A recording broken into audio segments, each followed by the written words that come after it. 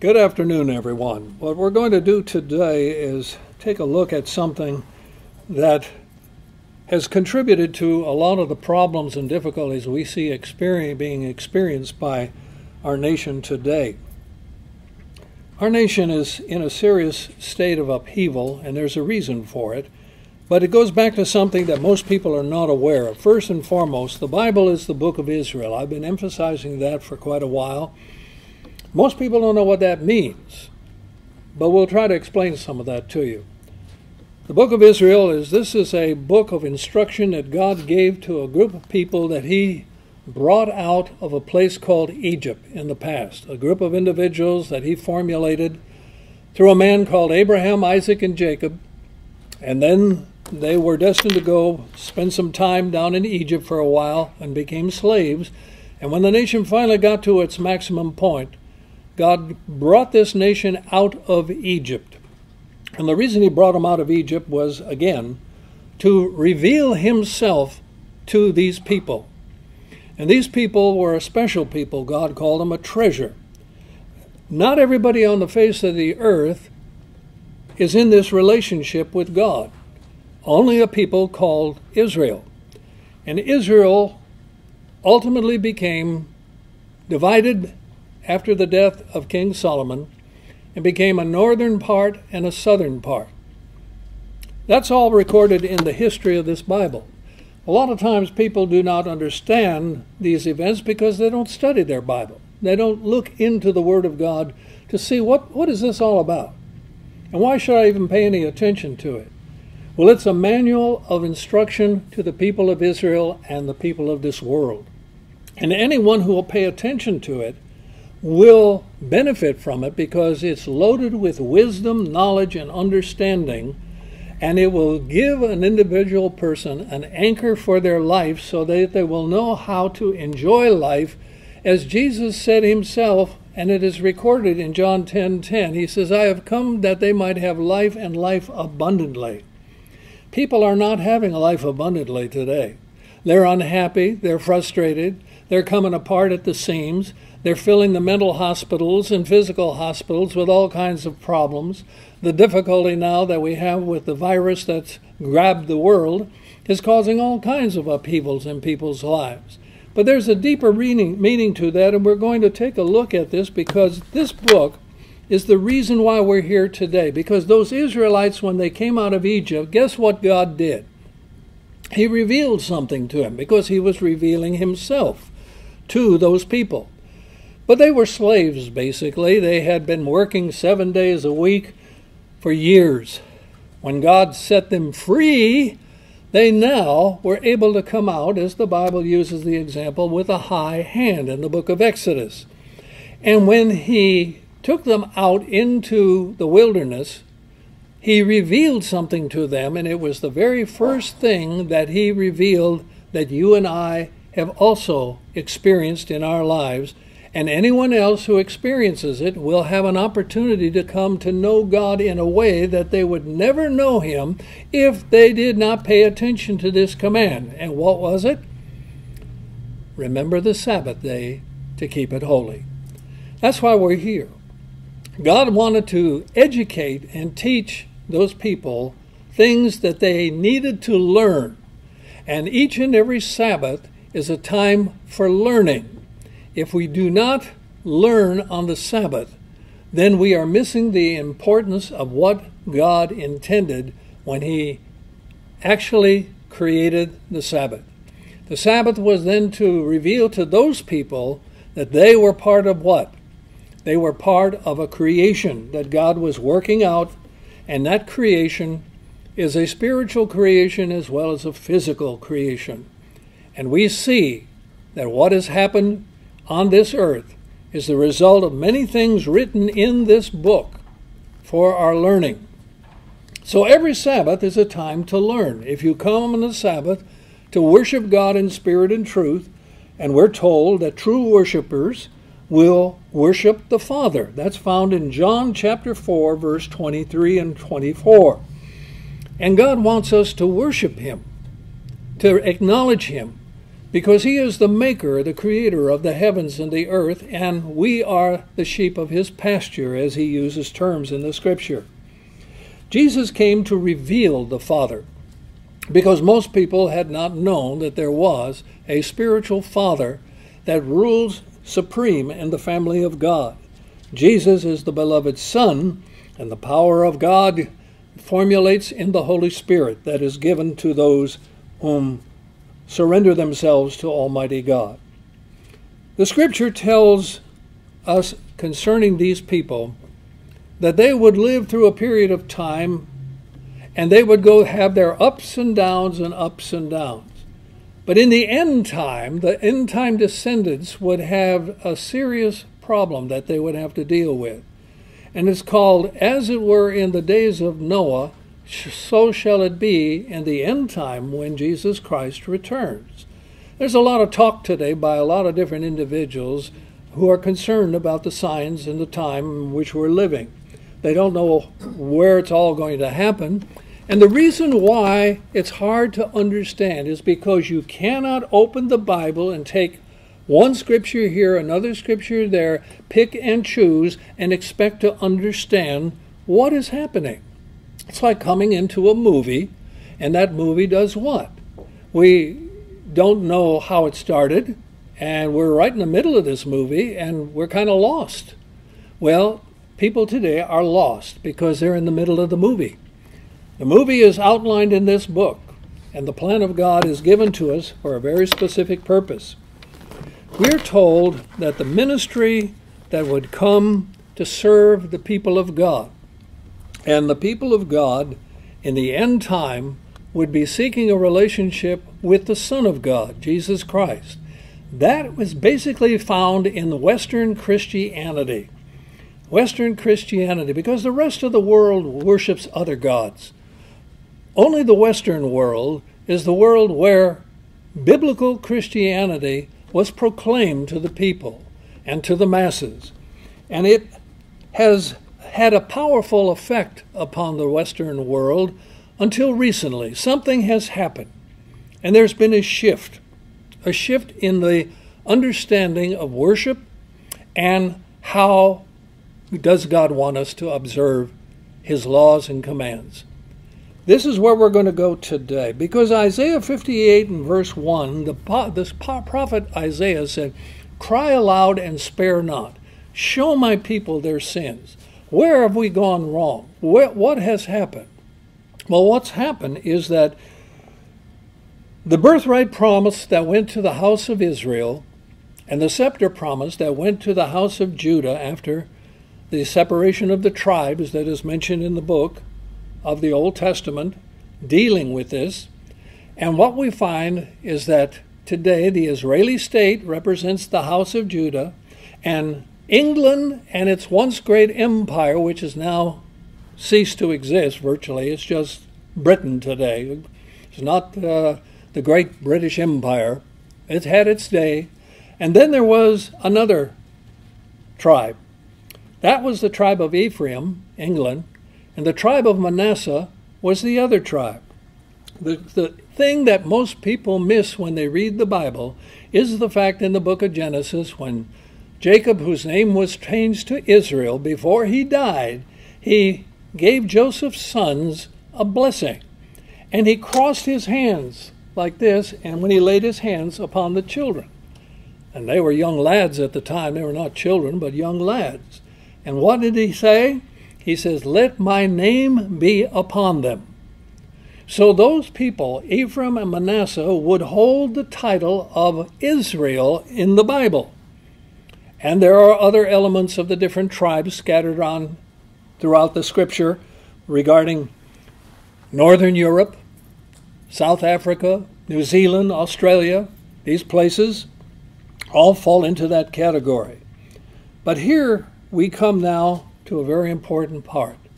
In the end time, we are told that there would be a problem facing these nations, Ephraim and Manasseh. Ephraim has already experienced its now Manasseh is going through its time.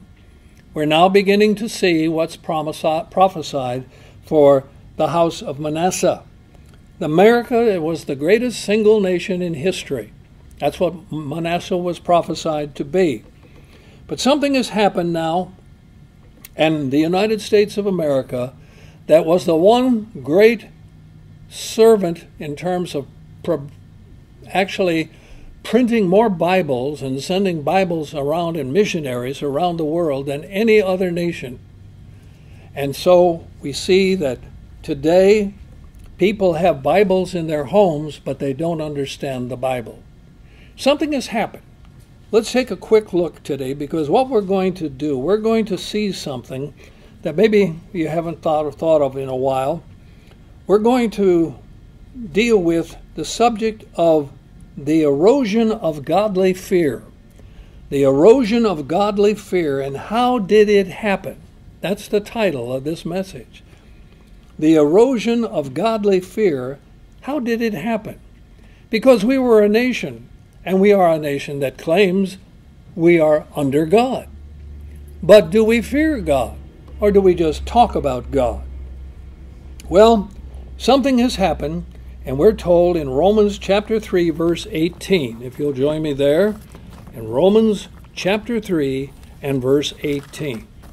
The Apostle Paul, he writes for the clarification of all the prophecies that are mentioned in the Old Testament and in the New Testament, he begins to give us answers to things that you cannot understand unless you have laid the foundation of the Old Testament first. Now he is given the charge by God to expound on this. And what he begins to talk about, he talks about the Jews and the Gentiles in verse 9. And then in verse 10, he says, It is written, There is none righteous, no, not one. When we really understand that, he's merely saying that everyone is in a sinned state of being. Romans 3, verse 23 all have sinned and come short of the glory of God. So we are all in this area where we're not a righteous person. We want to be righteous. We want to try to be according to God's laws and His commands, but we still technically are tainted with sin. And then he goes on and he explains there's none that understands, there's, there's none that seeks after God. Well, some people might say, yes, uh, but I seek after God. Well, are you sure it's the God of the Bible? Or is it a God of your own making? These are things we have to ask ourselves because the verse 12, they are all gone out of the way. Not some, all, everybody is included here. He says, and they are they become unprofitable. There is none that does good, no, not one. And we like to think we do good. We like to think we're okay, but we're in a state that needs guidance and help he talks about the condition of what comes out of our mouths. And then he says their feet, verse 15, are swift of the shed blood.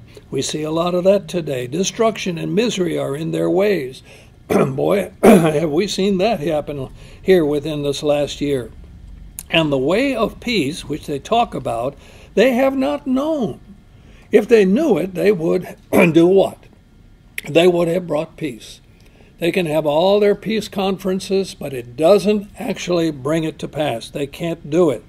and the real reason is the next verse, verse 18. There is no fear of God before their eyes. No fear of God before their eyes. And there's a reason for that. And we're going to ask now, how did it get this way?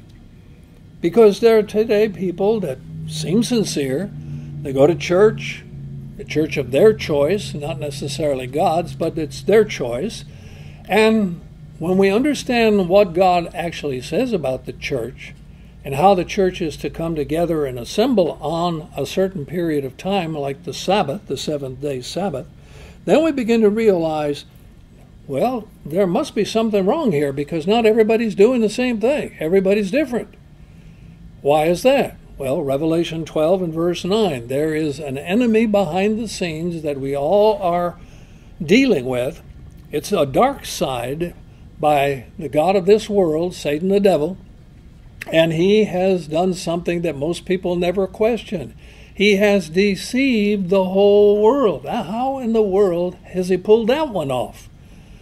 Well, it's because he gives people what they want. Not necessarily what's right, because he's not the author of what's right. Only God is. And God gives us the answers to what is right because he wants the very best for his creation, for all of us, which are the central focus point of his creation, made in the image of God, male and female. But something has happened, and there has, in our lifetime, we have witnessed a tremendous change from, say, four, let's say 70 years ago when we were involved in the struggle for our very existence. World War II was in full force. And what happened after that? We were blessed to become the greatest nation on the face of the earth. There, were, there was no one. We were rebuilding the whole world after World War II. And we had this marvelous time in which Americans were the envy of the world. Everyone wanted to be like an American. They wanted to come to America. But something has happened because the something that once made America great and set it on fire originally was brought out by a man named uh, Alex, uh, Alex, I think it's Alex Tocqueville. And he came to the United States wanting to know what made the United States so unique.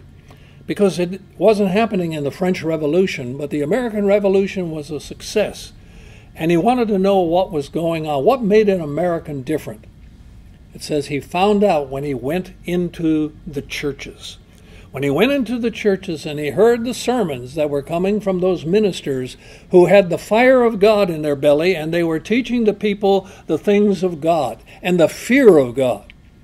Now, people have taken the fear of God ex- totally out of whack because many people have interpreted that that God's going to get you for this, God's going to get you for that, because every time you make a mistake, God's going to get you because that's you're, you're, you're walking in fear like the sword of Damocles hanging over your head. And the answer is that's not God. That's not the God of the Bible. God of the Bible is always telling us He wants good for us, He wants it for our children, He wants us to avoid certain things because you're going to get hurt if you do. And yeah, we do get hurt. We've all gone the way that seems right to us, and we've been hurt and had to learn a lot of lessons in the process of living life. Well, God is our partner.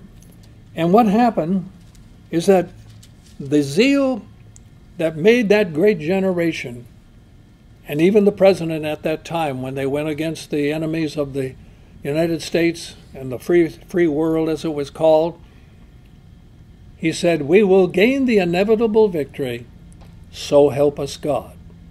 We needed the help of God in order to win. And God was with us because people feared God. Many of them had the Bible. They didn't necessarily understand it, but they did believe in a God. They had a certain fear of God. And that fear could be understood in two ways. One dealing with worship, a uh, devotion and a faithfulness to God, and also the fact that because he has unlimited power, you better not cross him. You better not get on the wrong side of him, knowingly challenging him, because if you do, you're going to lose every time. And there are those who try to challenge God, and we see the recorded history of the Bible of people just like ourselves who lived their lives. It's all recorded for our learning, Romans 15 and verse 4, and we're here to learn that very lesson that mankind without God cannot succeed, can never find peace, can never find happiness. He tries, he tries, he fills it with this and that, but it never works. So, what has happened? Because today, people are noticing something has happened to our churches. The churches are beginning to have problems. The Christian community is in trouble, and many of them know that.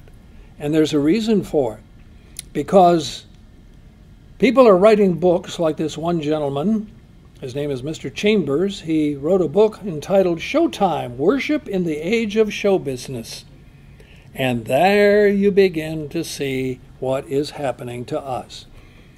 You see, because parents in past generation have not taught their children how important the Bible is to their everyday life, they've grown up with a lack of understanding about the fear of God. Parents did not transmit this knowledge to their children, And so children are just living a life, and it's understandable. That's all you can do. We all learn as children coming into this world. Our parents teach us, and we grow in the grace and knowledge of what they teach us. And we're told in the Bible to grow in the grace and knowledge of Jesus Christ. Because it is by grace we are saved through faith, and faith in who? In Jesus Christ as our Lord and Savior. And that's the one who is revealed in the pages of the Scripture for all of us. So, what happens in the process of time? How is this erosion of godly fear? How did it happen? Well, the most common complaint that you begin to hear in the so called traditional expressions of worship is that when people, especially the younger generation, or what we would call today the uh, millennials, and it's not their fault. They, they, fell, they fell prey to it just like everyone else. If you don't do this, certain things, everything's cause and effect. And what happened was the fact they would go to these church services, and it was never taught to them how it related to their everyday life. The Bible is a key to living everyday life. Tells you how to live life as a young person, as a teenager, as a young adult, in middle age, all the way on up into senior years of life. It tells you step by step by step what you need to be understanding and looking for. Many of us were never taught these things. So we had a false understanding regarding God. And what children then growing up in the church of these different denominations in the Western world, remember, we're talking about Christianity. And all Christian churches, quote unquote, are struggling now because they're having problems relating the teachings that they have with everyday life in the lives of young people. So the young people say what? They say, I don't want to go to church because church is boring. Yeah, it's boring, sure. Because if they are not there to learn, if they're not there to understand, then they're just killing time. And killing time doesn't answer questions to life. And so, what we have is that young people in particular find these old ways of doing things, and many of these churches, and every church has its own style, a way of doing things. And if if it's not if it doesn't do something that they want or they seek, as you're going to see here in just a little bit, it ends up being they go to church and it's nothing but form and ceremony. That's what happens. Rituals. One large church claiming to be a church of God, it does what? It has all kinds of rituals and they go through all kinds of maneuverings back and forth, back and forth. To them, that's the one what the Bible says. Other churches, they jump all around the place. Sometimes people call them holy rollers, and, and they get all excited. That's another way of doing it. Now, all these different things are there to teach us what? Teaching us that man doesn't know the way of God. He has come up with all these different variables, and it leaves everybody kind of in a shock because they say, Well, what are we going to do? Well, I'll tell you this where the parents failed, Satan did not. Satan the devil has always been after the next generation. And he has been working hard and he has accomplished much of that. And that poor generation doesn't even have a clue as to what's going on behind the scenes. You see, traditional worship does what? When you come to the Lord in, in true traditional worship from the biblical standpoint, you come to hear the Word of God. It's the Word of God that you're here for. We're not here to shake hands and impress one another.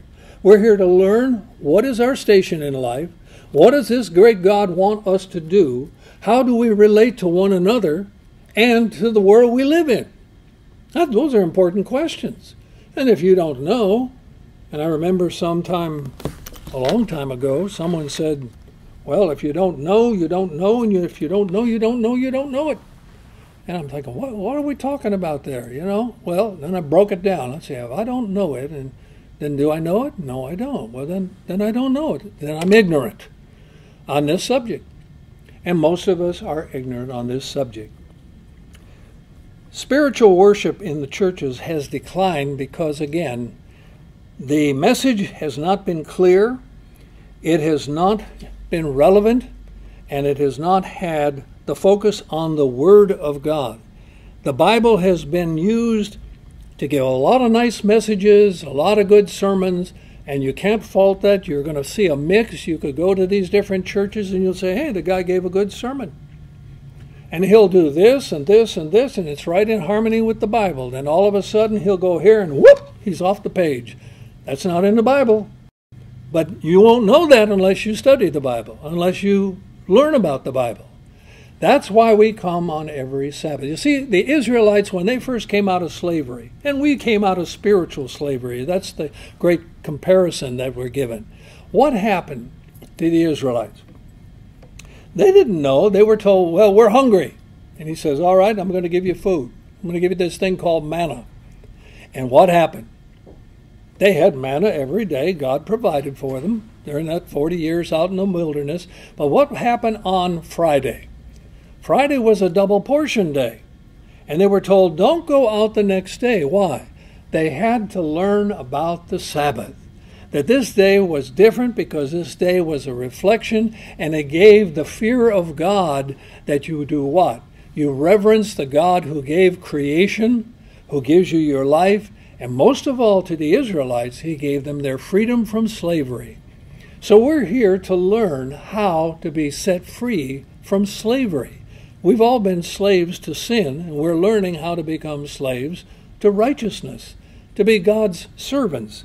And our focus is on the Word of God.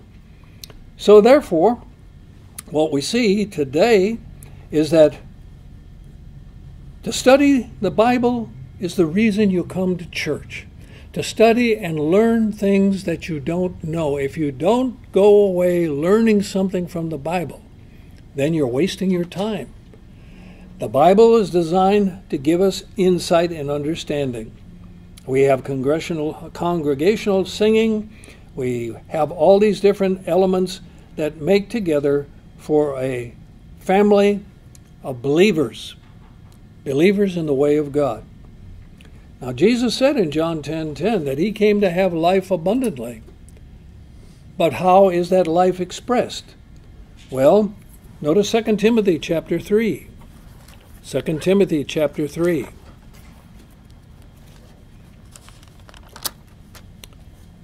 It goes through all the different things as with regard to the end time period we're experiencing, and we can see validation to every one of these things that is mentioned.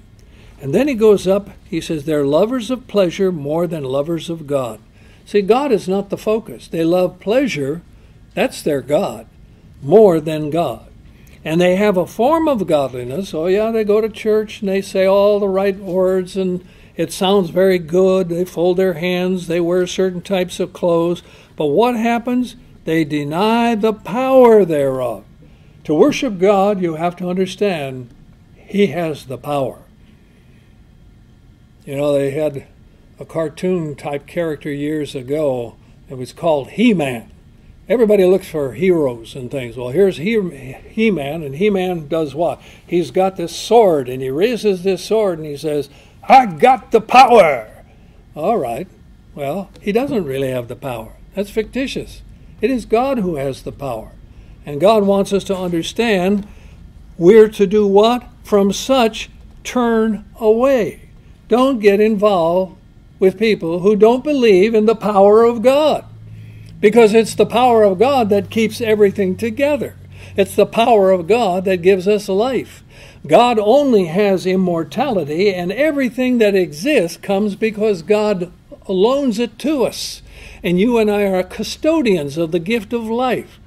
He gives us every day a gift of life that day. What do we give Him in return? Do we show Him fruit of goodness or do we show Him fruit of obedience? Or fruit of disobedience. That becomes our individual challenge. No, we find that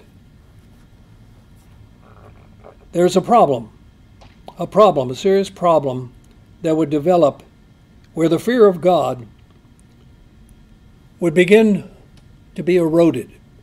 That people would go to church and church would not be the focus on God, the church would be a focus on fellowship and get together. It would become like a social club.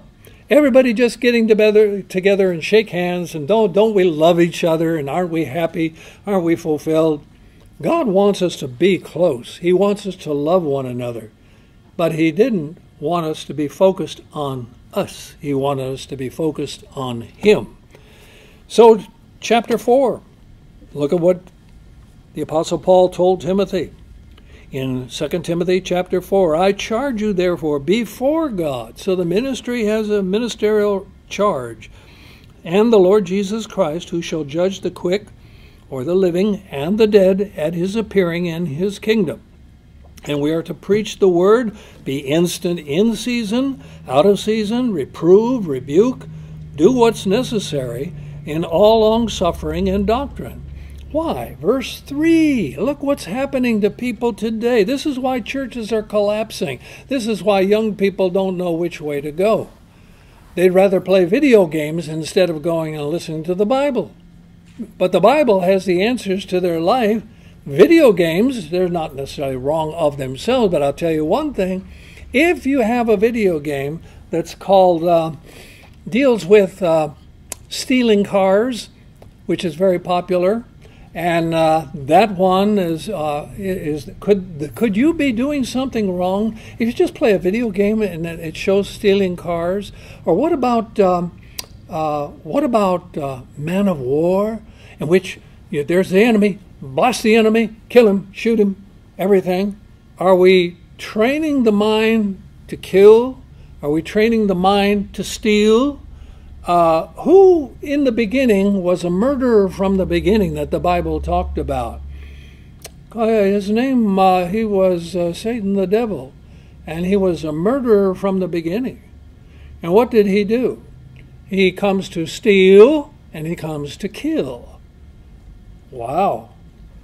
You see, if we don't have the umbrella of God guiding us, we lean to our own understanding. Today, people are literally coming to church with the attitude, what's in it for me? What's the payoff? If I don't like what I get, uh, I'm out of here. Well, that is the attitude that God said would come in the end time. It's an attitude where individuals are looking for things that satisfy them, not things that are pleasing to God. We come to learn how to please God and this is where entertainment has come into play so much. Entertainment is so important to modern worshipers. They want to, they come to church to be entertained, but you know the job of the ministry is not to entertain. The job of the ministry is to tell you the word of God. Cry aloud, spare not, show them where they're wrong. Help them to understand, get over the hurdles that are causing problems for yourself. Most today were influenced, so many of the young generation were influenced by the following. Uh, it entered into about, it started in the late 1940s and then really got going in the 1950s. It was called the One Eyed Monster. Do you remember what the One Eyed Monster was? Television. Television began to become the fixation of all our time, hours and hours before TV. Do we spend hours and hours before the Word of God? No, let's all hang our head in shame.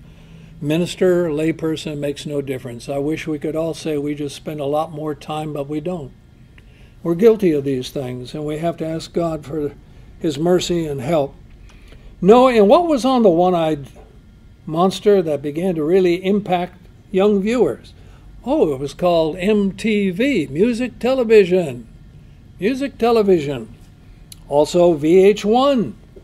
You begin to see some real entertaining videos, things, you know, because we all like to move, don't we? We all like to be entertained. So, what happens is that uh, even religion has fallen under the mantle of entertainment. You can go on television on these various religious channels, and you will find there's a lot of things done on those channels that are nothing more than entertainment. You will not find somebody out there crying aloud and sparing not. You will find too much of the other. And this is now transferred over to another area. These addictions, these focusing our attention, what does it do? It corrupts our thinking and we begin to lose our fear and reverence for God. That's what's happened. Isaiah chapter 1, verses 17 and 18 tells us, Come now, reason, let us reason together. God wants us to reason. But people today don't reason properly. They don't want to hear the word, make me think. You see, a sermon is designed to make you think. How are you doing? How are you accomplishing and overcoming? Or do you preach the word to entertain? Now, this is where many of the big megachurches came online because they began to go to all kinds of music and entertainment and just to be able to go and hear the Word of God and learn. People didn't want to learn anymore, and that's what's happened in our world. Something is wrong, and it's not the fault of sermons and songs, it's the problem of a heart. Our hearts are corrupt, brethren. This is what's happened. The heart of man has gotten tired of looking at the Bible, tired of hearing about God. They don't believe the book anymore has any relevance to them. So, what does? It goes back to the Garden of Eden ye shall be as gods. We now are, we have no, nothing to lead us in the direction in the right way, and so we as the scripture in Judges says, every there was no king in Israel, and everyone did what was right in their own eyes. And that's what's people. And so you hear things like, well, that's your truth, but this is my truth. I got my truth, you got your truth. There's only one truth, and Jesus said, I am the way, the truth, and the life. We're told to remember the Sabbath because it's a time for hearing the Word of God and building what God wants us to learn about Him. If we don't know about God, then how can we function and say we're Christian? Maybe that's the reason why there are so many individuals who are professing Christians, but they're not desirous to really draw close to God. They're afraid of God. You know, if you're afraid of God, there's something wrong. The only reason you should be afraid of God is if you do wrong. Why would a young person fear his parents? Only because if they do wrong. And that's why when they do wrong, what do they do? They don't come and say, Dad, Mom, you know, I did wrong. They don't confess, they hide. What did Adam and Eve do when they did wrong? They hid. What do all of us do when we do wrong? We hide. So, what are we learning? We're learning something very important. The way that we protect ourselves from the erosion of godly fear, and it can happen. There's so many factors today coming at us to take away the fear, the love, the respect, the admonition. The songs we sing reflect the glory of God. If God is not glorious in your mind and in your heart, then something is working against you. A serious problem the book of Ezekiel talks about in Ezekiel chapter 33, verses 31 through 33 regarding Israel. He says, they come, they act like they want to know the th- truth. They say, oh man, that was a great message you gave, Ezekiel. It says, but they will not do it. They will not do it. They're not listening. The admonition in the book of Revelation, chapter 3, telling us about the Laodicean church, is that wake up and listen. The fear of God it's got to be before our eyes and deep within our heart if we're going to endure to the end. Well, these things, we could go into a lot more of that, but we'll just leave it right there and say that, again, the time shows it's serious. This is not time for entertainment. The things that are happening around it are hurting us and coming at us from all directions. May God give us the strength through His Holy Spirit to glorify Him and the Lord Christ, and to remember God's added charge that you love one another as I have loved you. God wants a deep, genuine love to be shown between all of His people because He loves us and He's going to take us ultimately to the kingdom of God. God be with you all.